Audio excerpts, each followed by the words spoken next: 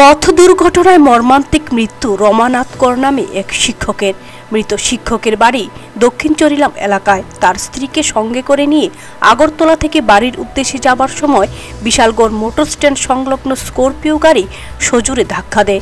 সঙ্গে সঙ্গে মৃত্যু হয় বাইক চালক রুমানাথের পরবর্তী সময় প্রত্যক্ষদর্শীরা খবর পাঠায় দমকল কর্মীদের। তারা ছুটে গিয়ে মৃত ব্যক্তিকে উদ্ধার করে নিয়ে আসে মহকুমা হাসপাতালে। আহত হয়েছেন স্ত্রী, তার নাম বীণা দাসকর ছয়টা পাঁচচল্লিশ নাগাদ একটা ফায়ার সার্ভিসের গাড়ি দিয়ে একটা ব্যক্তিকে আনা হয়। ওর সাথে একজন স্ত্রীও ছিল মানে মহিলাও ছিল।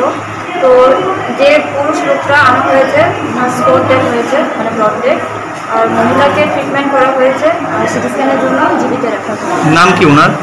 যে আহ, আহত ব্যক্তি ওনার নাম বাণী দাস বয়স আটত্রিশ বছর। আর যে মারা গেছে ওনার নাম? যে বাণী হয়েছে রাম রমানাথ বাড়ি সাউথ আপনারা কিসের মধ্যে ছিলেন? বাইকে। তো- রক্ষা করো দয়াময়। আপনার কি কোনো গাড়ি পেছন দিক দিয়ে বাড়ি দিছে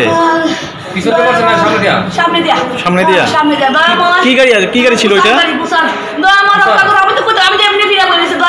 ওনার নাম কি? ওনার নাম কি? কি করে উনি? হ্যাঁ? কি করে? শিক্ষক। কোনখানে বাড়ি আপনারা? চলিলাম দয়াময় দয়াময় রক্ষা করো। বিশালগড় থেকে আশিস মিয়ার প্রতিবেদন দুরন্ত টিভি।